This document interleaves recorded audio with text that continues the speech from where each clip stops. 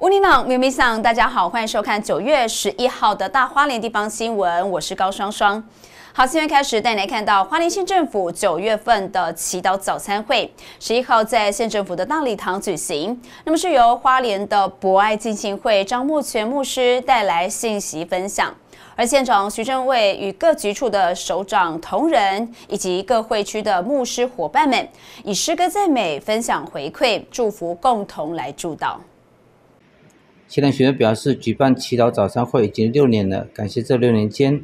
来到县府为花莲祈福的牧师和传道们，每次的聚会让大家心中充满温暖力量，彼此相互扶持，让信仰进入我们的内心深处，安定每个小的个体。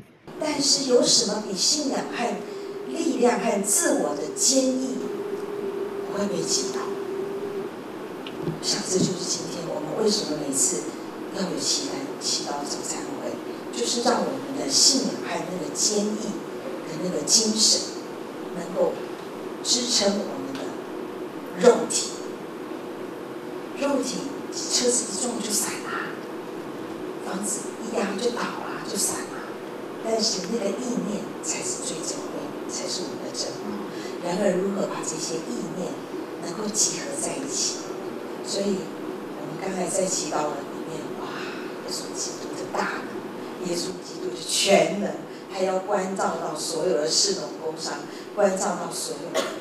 首次参加祈祷早上会的公安处长于勋表示：“花莲是充满能量的城市，拥抱神使我们更加的坚定。来到花莲服务更是神的应许，如同张牧师分享信息的时候所提到的，向花莲所怀念的意志是赐平安的意念，不是降灾祸的意念。相信花莲在信仰群众的带领之下，有满满的正向的积极的力量，度过每个挑战。”记者焦彦华说道。